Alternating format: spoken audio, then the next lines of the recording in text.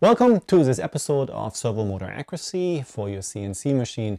So in the last two series we have upgraded the motors and tuned them and in this episode I'd like to measure a part that we're going to machine for its accuracy.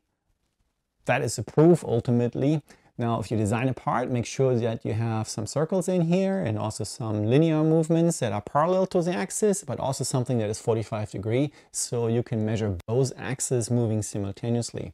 So part looks like this right here. It's difficult to see, I think, but um, let's machine it and let's measure it.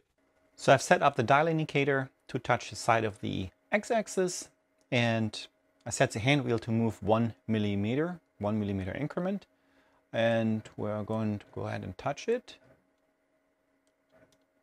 Maybe right here. Set it to zero. Okay, we should see a one millimeter move. Nice.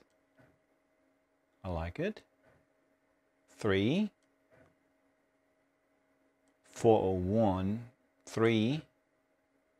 199. So we traveled one one hundredths too much keep that back to zero. One, two, three. Traveled on the back direction one one hundredths too much. And we keep the hundreds going forward.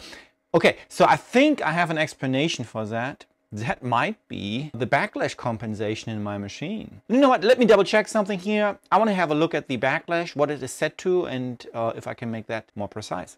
Okay, so I have checked the backlash compensation for X and it was set to 1 one hundredths of a millimeter and I just cut that in half to 5 thousandths. However, I need to rehome the machine. So I've set everything back up and let's do the test one more time. Um, we need selection of X. Maybe 2 millimeter onto it. 0, 1, 2, three over traveled by one hundredths, which I'm, I'm happy about. That that's fine. Two, one. That's nice. Now, did you do, do you need do you see that? If I turn back, we come back to one millimeters. Those the hundredths that we carried forward is not there anymore. Five. Yeah, we can still go a little bit. Six. That's nice. That is nice.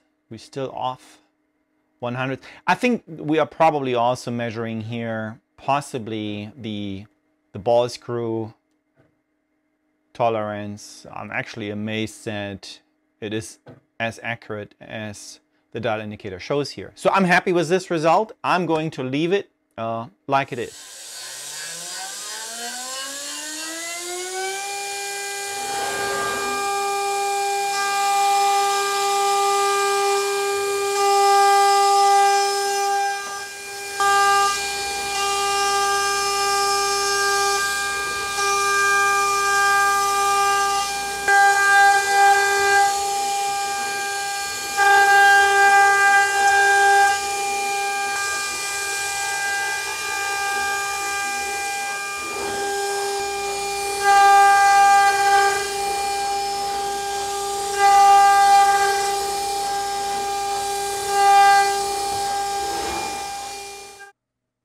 Okay, I've cleaned the part with alcohol and also the caliper goes to zero.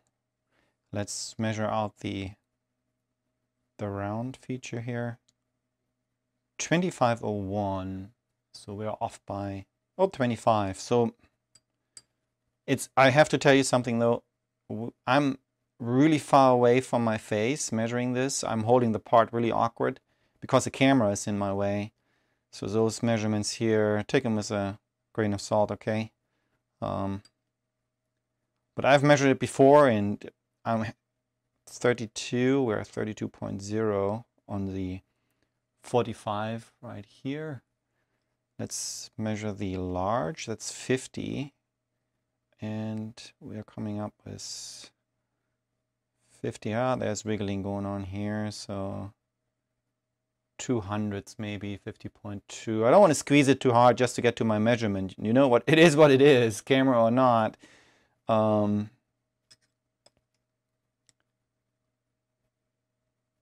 Fifty point two. Yeah. Maybe a bit more here at the bottom. Probably also 50.2. Like I said, it's it's for me difficult to uh, hold the parts as far away from me and measure it for you. So I'm happy with those results. However, they are about 200s over. Now this was machined using a single flute bit and they are great for removing material out of a slot, but not really for accuracy on machining a two flute would be better. Okay, this will conclude the servo installation tuning and optimization.